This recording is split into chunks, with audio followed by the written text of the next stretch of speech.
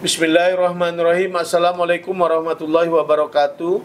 Saya Ansar Ahmad mengucapkan selamat hari jadi ke-22 Kota Otonom Tanjung Pinang 17 Oktober 2023. Melalui peringatan hari jadi ini, semoga Kota Tanjung Pinang semakin maju, berbudaya dan sejahtera dalam kebinekaan NKRI serta menjadi ibu kota negeri segantang lada yang semakin berseri lestari akan adat serta budaya.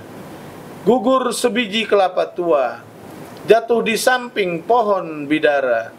Dengan semangat hari jadi kota otonom Tanjung Pinang ke-22, bersama kita wujudkan ibu kota Kepri yang lebih sejahtera. Wassalamualaikum warahmatullahi wabarakatuh.